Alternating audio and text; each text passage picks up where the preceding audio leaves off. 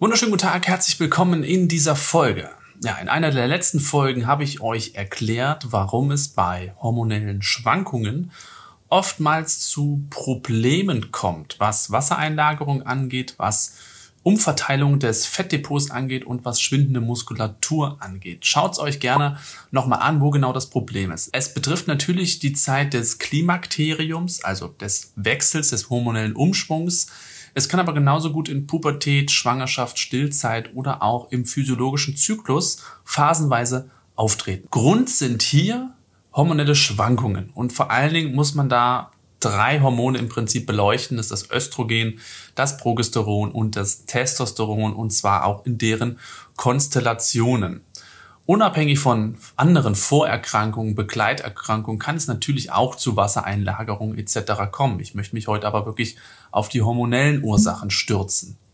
Und wichtig ist auch, und das kann man vielleicht auch als Disclaimer sagen, es geht hier nicht darum, krankhaft, wahnhaft abnehmen zu wollen, sondern es geht darum, das Normalgewicht wieder zu erlangen, was vielen Frauen gerade auch in den Wechseljahren abhanden gekommen ist. Vielleicht auch aus subjektiven Gründen der jeweiligen Person, aber vor allen Dingen auch um Begleiterkrankungen, die eben auch mit einem Übergewicht einhergehen, allen voran die Herz-Kreislauf-Erkrankungen in den europäischen Gefilden und auch in den amerikanischen Gefilden die Haupttodesursache, aber auch Krebserkrankungen wie das Mammakarzinom, das Endometriumkarzinom gehen einher mit Übergewicht. Und dem quasi vorzubeugen, möchte ich euch hier ein paar Hinweise geben, wie ihr vielleicht diese hormonellen Schwankungen wieder umgehen könnt, um diese Veränderungen wieder rückgängig zu machen. Viel Spaß dabei!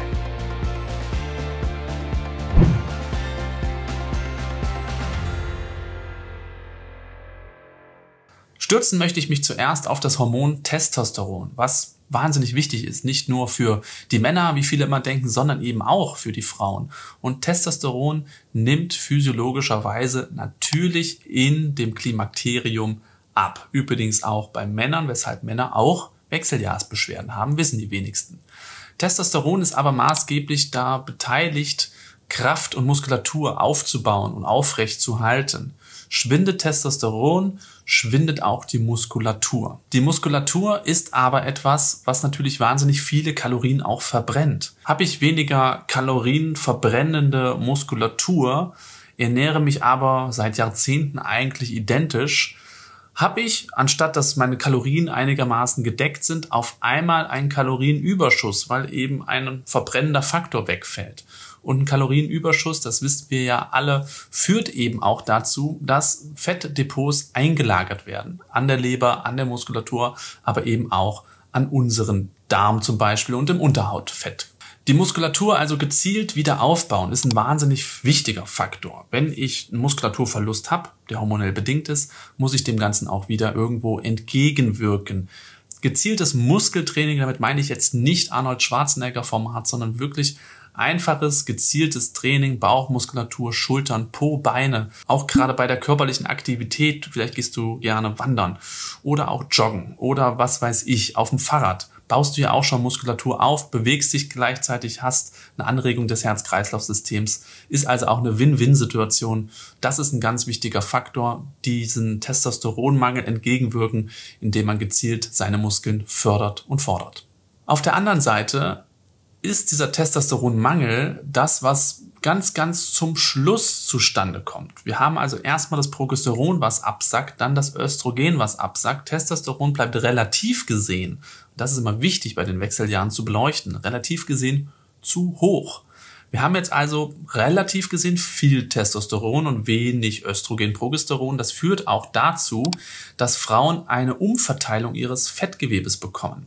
Was vorher vielleicht auf Hüften, Po etc. war, wandert jetzt so ein bisschen den klassischen Männerbierbau, also so ein bisschen nach vorne zum Bauch. Und dann haben wir ja das, was wir am Anfang stehen haben, den relativen Progesteronmangel zur relativen Östrogendominanz. Gerade so Anfang der 40er geht es damit los, dass das Progesteron langsam und allmählich weiter abfällt. Es kommt zu weniger Eisprüngen. Der Eisprung ist aber essentiell dafür, dass der Gelbkörper produziert wird und das Gelbkörperhormon macht.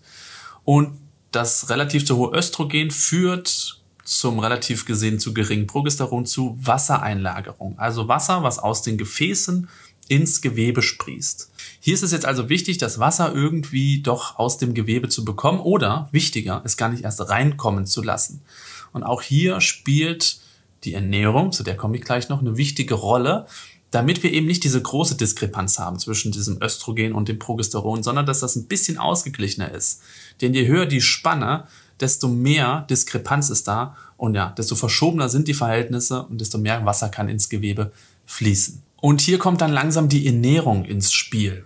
Denn, ich habe das auch schon erwähnt, man kann mit Ernährung wahnsinnig also wirklich wahnsinnig viel dagegen steuern. Schlagwort ist mit Sicherheit die Phytoöstrogene. Das heißt aromatische Stoffe, die den körpereigenen Hormonen der Frau ähnlich sind, teilweise östrogene Wirkung haben, aber teilweise auch antiöstrogene Wirkungen haben. Auch ein Grund, warum zum Beispiel in der asiatischen Bevölkerung die Wechseljahrsbeschwerden viel geringer sind als bei uns hier in der westlichen Region, weil die einfach wahnsinnig viel pflanzliche Phytoöstrogene zu sich führen. Wo zum Beispiel sehr viel Phytoöstrogen drin ist, ist Soja, Tofu, Tempeh, Leinsamen, Rotklee. Das sind alles Produkte, die wahnsinnig viele Phytoöstrogene enthalten können und die jetzt vermehrt auf deinen Teller wandern sollten, schon bevor du quasi in diese Wechseljahrsregion kommst. Also Mitte, Ende 30, wenn nicht schon geschehen, auch gerne früher, könnte man darüber nachdenken, diese Ernährungsweise ein Stück weit umzustellen eiweißreich essen ist auch noch so ein Tipp. Der Eiweißverlust, der ja schon stattfindet durch den Muskelabbau, der muss natürlich ausgeglichen werden. Ihr könnt euch Eiweiß vorstellen als ja, Wasserbinder.